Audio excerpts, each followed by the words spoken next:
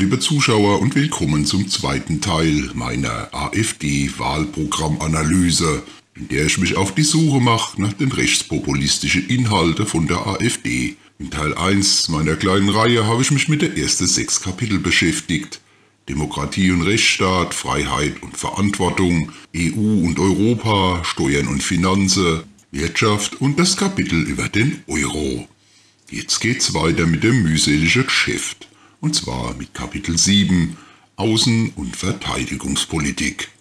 Naja, das Thema ist ziemlich trocken. Wie soll ich's beschreiben? Im Prinzip will die AfD das, was auch früher die CDU wollte.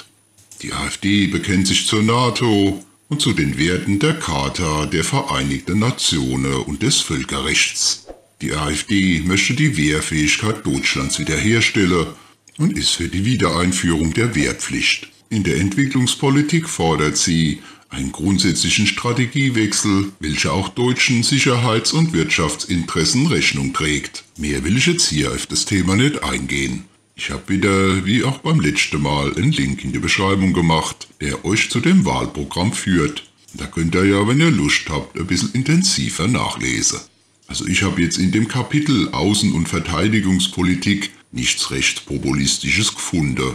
Schauen wir mal, ob's im nächsten Kapitel, Kapitel 8 Innere Sicherheit, was zu finden gibt. Hier spricht sich die AfD für folgende Punkte aus. Linke Gewalt entschieden bekämpfen. Wirksame Bekämpfung der Ausländerkriminalität und Vollstreckung der Strafen in den Heimatländern. Die AfD fordert eine Reform des Jugendstrafrechts und möchte das Strafmündigkeitsalter auf zwölf Jahre abgesenkt sehen.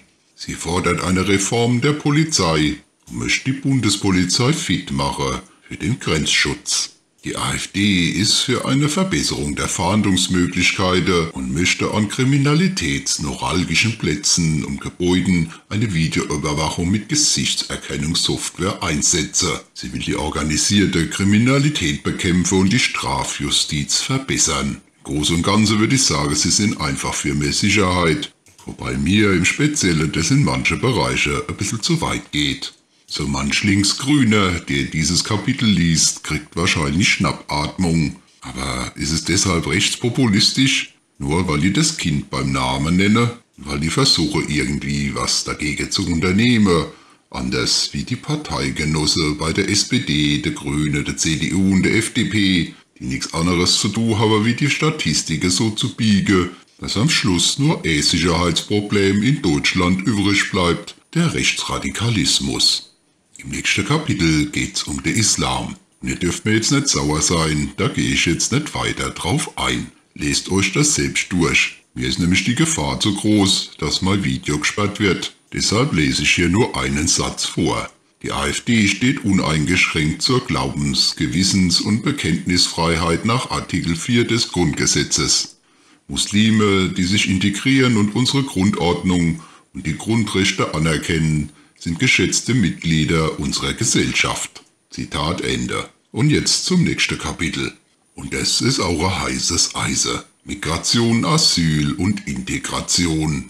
Was man ja immer wieder hört von der linke Genosse, ist, dass die AfD das Asylrecht abschaffen will und dem ist natürlich nicht so. Politisch Verfolgte sind bei uns willkommen, solange sie direkt aus dem Land kommen, wo sie verfolgt wurde, also nicht aus irgendwelchen Drittstaaten. Das ist zurzeit auch geltendes Recht.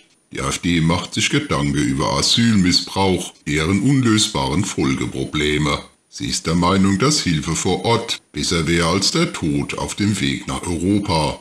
Die Alternative für Deutschland spricht sich für eine qualifizierte Zuwanderung nach dem Vorbild Japans aus, mit dem Primärziel der Interessenwahrung der deutschen und bereits zugewanderter Bürger, die sich zur kulturellen Identität Deutschlands bekennen.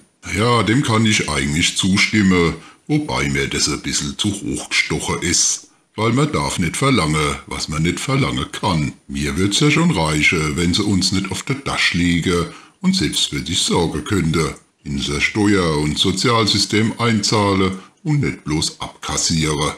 Mit wem die sich jetzt treffen, in was für Kirche die gehen oder was für Lieder die singen, das ist mir eigentlich egal. So finde ich die Forderung, was das Bekennen der kulturellen Identität Deutschlands angeht, ein bisschen überzogen, dann sind wir doch mal ehrlich. Egal wo du geboren bist, du kriegst eine Dosis von deiner Kultur verabreicht. Und das wird dich auch der ganz Leben lang begleiten. Das jetzt das Essen, die Musik oder die Religion ist. Und das wandert natürlich auch mit aus. Guckt euch mal die deutsche Auswanderer in Amerika an. Die haben sich auch ihre deutsche Kultur erhalten und pflege die, auch in Amerika. Und das stört dort auch kein Schwanz. Im Gegenteil, die Deutschen sind in Amerika sehr beliebt, als fleißig, pünktlich und anständig bekannt.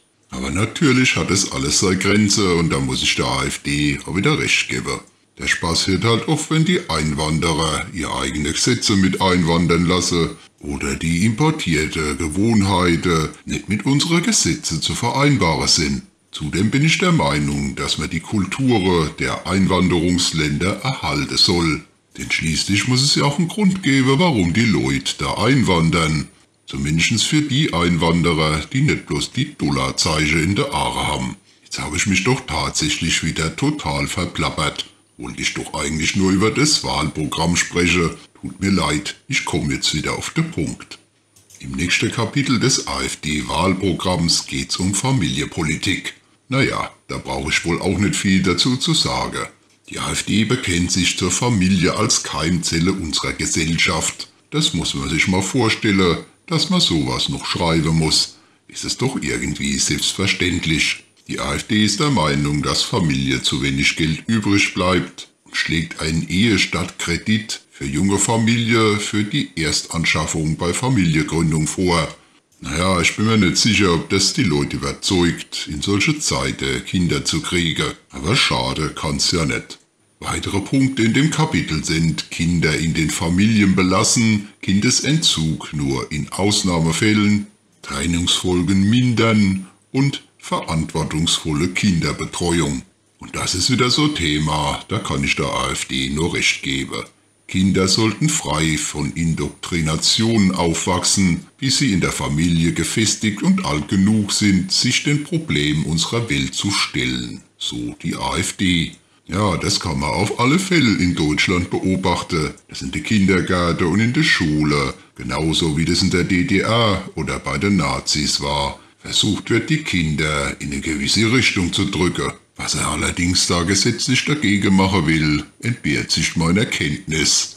Denn eigentlich haben wir ja schon die Gesetze, die das gar nicht erlauben, dass die Kinder auf eine gewisse politische Richtung in der Schule getrimmt werden. Und das zieht sich eigentlich wie ein roter Faden durch das ganze Wahlprogramm von der AfD. Das meiste, was die AfD fordert, haben wir eigentlich schon in den Gesetze stehen. Will heißen, was die AfD fordert ist, dass wir unsere Gesetze endlich einmal umsetzen und nicht bloß so machen, als ob. Was aber daran rechtspopulistisch oder rechtsradikal sein soll, wenn eine Partei fordert, dass die vorhandenen Gesetze durchgesetzt werden, kann ich mir eigentlich nur so erklären, dass die Linksgrüne nichts anfangen können mit unseren Gesetzen. Aber nun zum letzten Kapitel für das Video. Arbeits- und Sozialpolitik. Hier werden folgende Punkte erwähnt. Zuwanderung von EU-Ausländern in unsere Sozialsysteme begrenzen.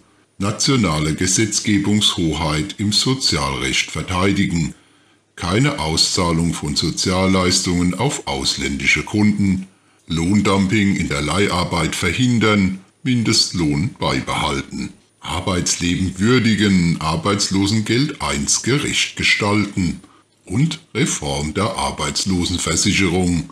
Auf den Punkt lasse ich mich jetzt noch ein bisschen ein. Die AfD sagt, der Beitragssatz in der Arbeitslosenversicherung soll abgesenkt werden, um die Einkommen der Arbeitnehmer zu erhöhen und den Produktionsfaktor Arbeit zu entlasten.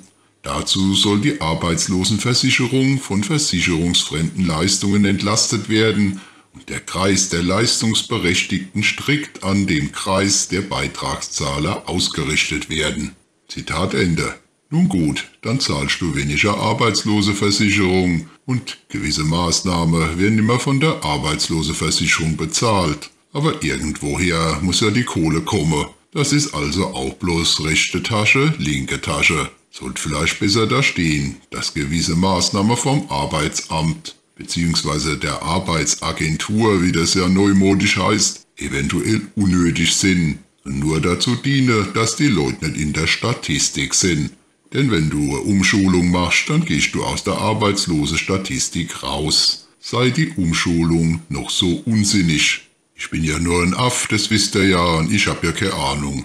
Aber wegen mir soll da besser stehen, dass alle Maßnahmen von der Arbeitsagentur auf den Prüfstand müssen.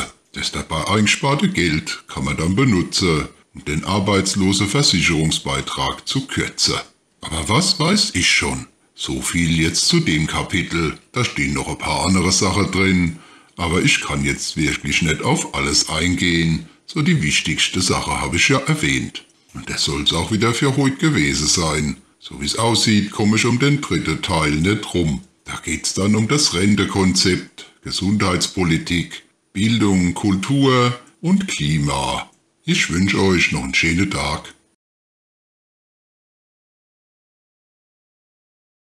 So, ihr liebe Leute, das war's mal wieder. Um alte Traditionen gerecht zu werden, bettel ich euch jetzt noch ein bisschen an. Also ihr habt bestimmt schon ein Abo und geliked habt ihr das Video ja auch schon. Und jetzt, wenn ihr wollt, könnt ihr es noch ein bisschen teilen, bei Facebook zum Beispiel, denn da haben sie euren Hallmark eingeschränkt. Ich darf jetzt nichts mehr in Gruppe posten. Deshalb wär's lieb, wenn ihr das für mich machen könntet. Ach ja, und Telegram wär auch. Wer von euch Lust hat, mich ein bisschen zu unterstützen, der findet unten in der Beschreibung genügend Möglichkeiten.